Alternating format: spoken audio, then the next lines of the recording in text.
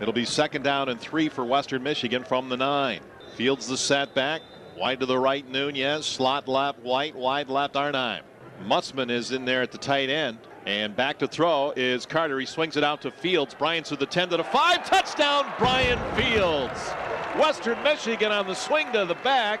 Brian Fields is on the board. Well, Robin, I tell you what, that was way too easy here for the Broncos. I mean, that's three pass plays and a run from Carder, and the Western Michigan uh, offense is in the end zone. Just a minute 31 into the ball game. The big play on the drive, of course, the screen play